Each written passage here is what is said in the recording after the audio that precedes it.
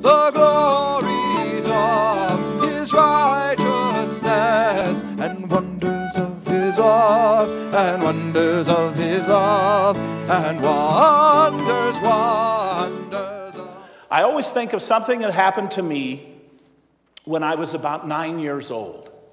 And I'd gone to spend Christmas with my grandfather and my grandmother Olds, who lived in Carlile, Wyoming. Now, if you've never heard of Carlile, Wyoming, don't worry about it, nobody else has either.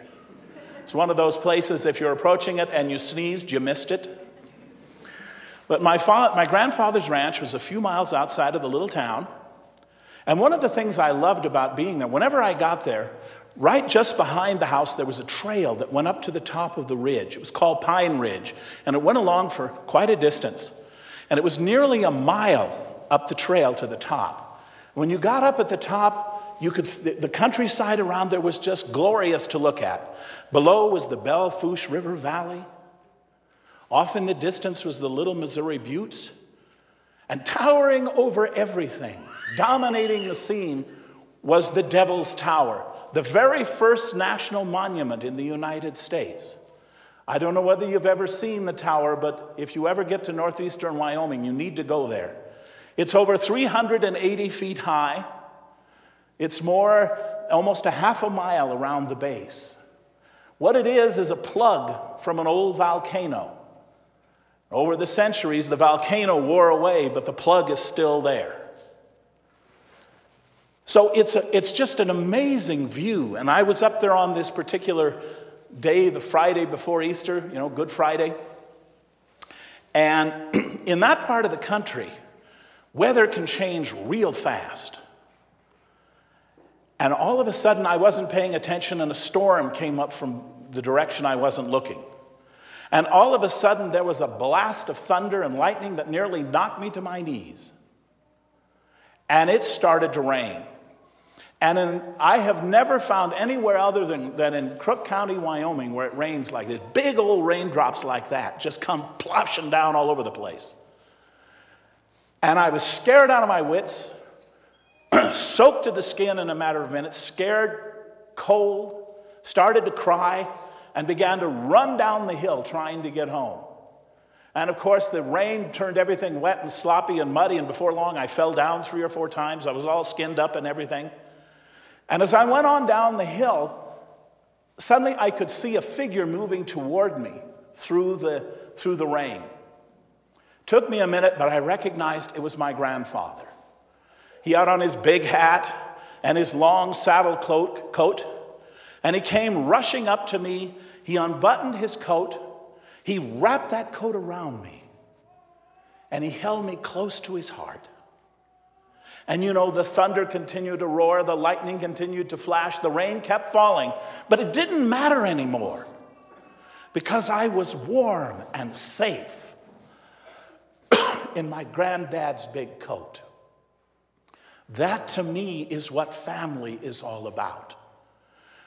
that when we're hurting, that when we're scared, that when we're cold or we're lost, family is the place where we should be able to feel God wrap us up in Himself. Our family at home, our natural families, and certainly here in our church family. No person should ever come to this church, ever come to this church and feel not welcomed. No person should ever come here hurting and not feel the love and warmth of God. You know, the priests, my brothers and I, we can do what we can, but it takes all of us, doesn't it? You know, it takes just maybe a smile or saying hello to somebody you've never said hello to before. But all of that is making this our family. You know, to have that kind of family, whether it's our, our own natural family or our family here at church, to really make it work as it's supposed to, as God intends, we need to remember the three A's attention, appreciation, and affection. That we need to pay attention to one another and never take each other for granted. We need to show our affection. You know, there are sometimes people that are starving to death just for somebody to say, I love you or you're important. And nobody ever says it to them. And we need, we certainly need, you know, to show our appreciation. Not that somebody has done something outstanding, but simply because they are. That they're a gift to us from God, they're a part of our family. Because when we fail in the three A's, tragedy can happen. You know, the one thing I never want to have to go through again, when I was in San Marcos, I had to deal with a suicide. Young man, 16 years old. And his father told me, looked at me, and he said, It's all my fault. He said, 15 minutes ago, for the first time in my life, I held my son in my arms. The first time I told him that I loved him.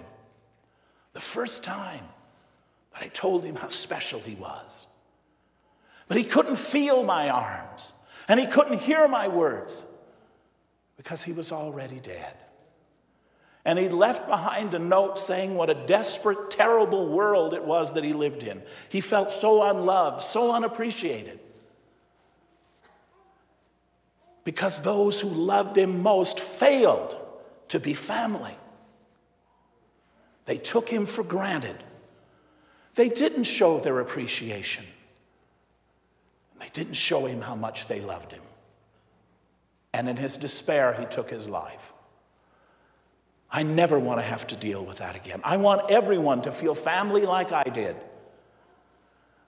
to feel granddad's coat wrap around us and keep us safe and warm.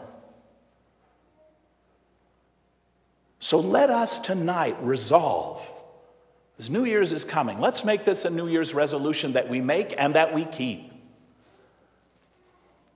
That we will practice the three A's attention, appreciation, and affection in our homes every day, and that we will bring it here to our church community. And from there, we'll help it to go out to the world. Because all of us are meant to be family. Again, our Lord tells us we are His children. And the challenge is do we really believe in Him? If we do, then we will live as He asked us to. We will be family to one another. So that never will any one of us feel alone or abandoned, but that each one of us, when we're hurting, when we're lost, cold, or afraid, will know exactly where we can go to feel the warmth of God close in around us. So let us be family. And let us make this truly the merriest Christmas of all.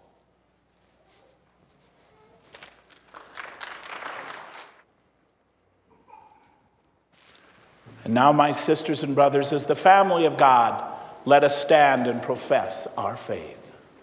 We believe.